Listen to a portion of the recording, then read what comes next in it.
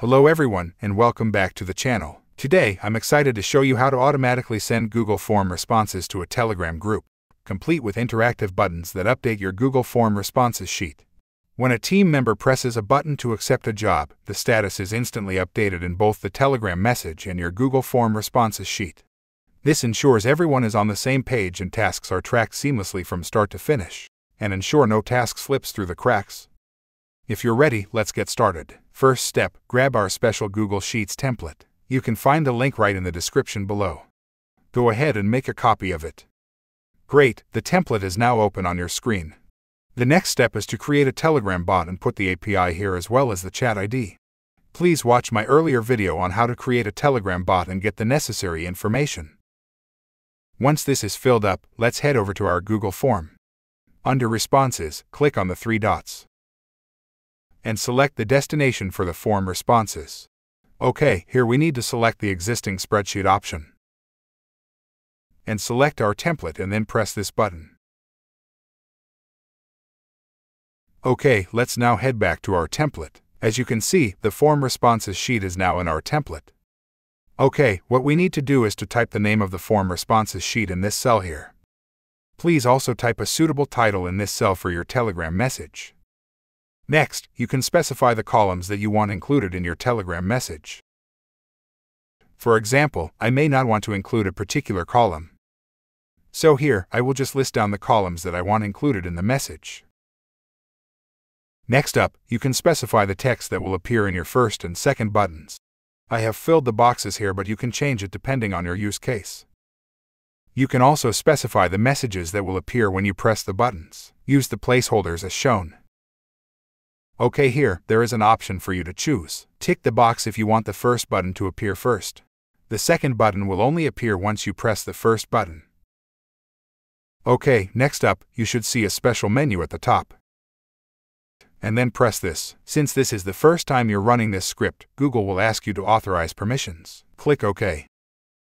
Choose your Google account. Then click Advanced. And proceed by clicking this link. Finally, click on Allow. With permissions done, let's click on the menu again to install the form trigger. OK, the next step is to get the webhook URL so Telegram can communicate with Google Sheets. Press Extensions. And click on Apps Script. Then press this blue Deploy button here. And press New Deployment. In this box type in any description. Make sure the settings are fixed as shown here. Then, select Web App. Lastly, press the Deploy button. OK, you will need to provide permissions. Follow as shown here. Now, you should be able to see the web app URL here. Copy the URL. Go back to our template. And paste the URL right here.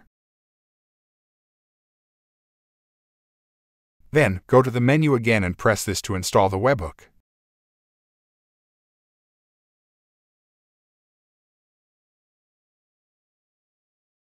OK, the last thing we need to fill up is to specify which column to put the status updates when the Telegram button is pressed. So in our case the available column is column G. Let's fill it here. And that's it, let's test it out. Let me fill up the Google form with some data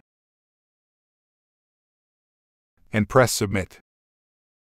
And yes, we have just received our first Telegram message. And can you see the beautiful button right here? Let's press the button.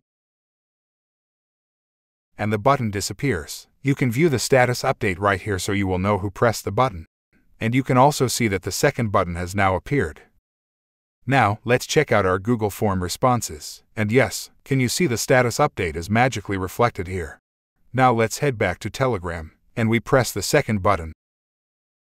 The button disappears and you can see who pressed the button with the timestamp. This is very useful for tracking and accountability. Now, let's go back to the Google Form responses. And yes, the status message has been updated automatically to reflect the latest message.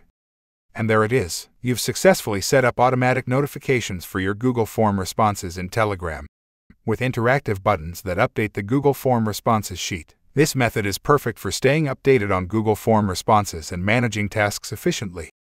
Let me know how it worked out for you.